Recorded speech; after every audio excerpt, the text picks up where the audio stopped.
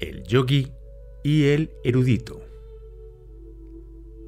Se trataba de un erudito muy pagado de sí mismo, que siempre estaba haciendo gala de sus conocimientos de todo orden, menospreciando a aquellos que no eran tan cultos como él.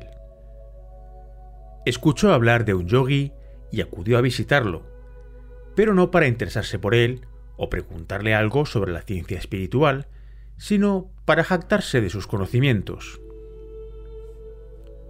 No hay rama de la ciencia o de la filosofía que no haya estudiado a fondo. Soy una biblioteca viviente. Mis conocimientos son incalculables. El yogi le miró directamente a los ojos y le gritó Necio ignorante. El erudito se descompuso llenándose de ira.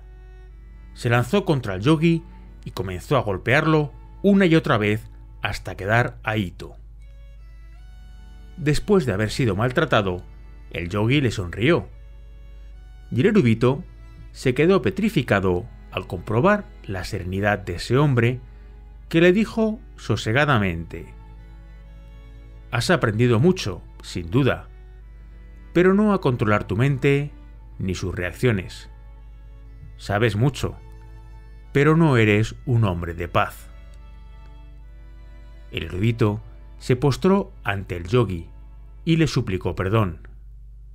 Después se marchó avergonzado. Reflexión.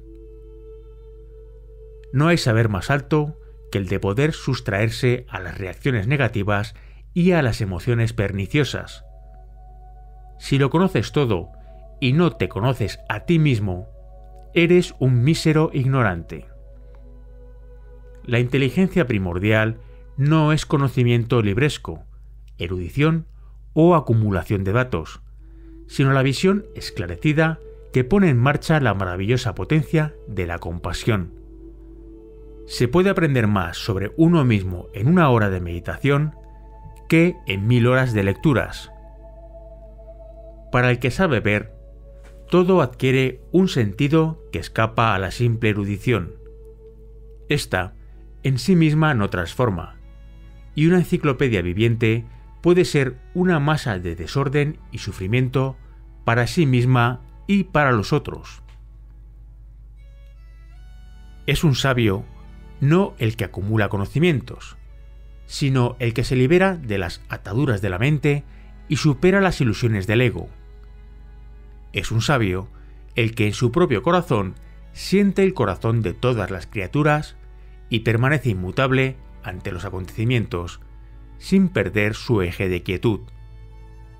Es un sabio el que se libra de las redes de la ignorancia, no a través de conocimientos, sino de experiencias profundas que lo transforman y permiten que resplandezca la luz interior.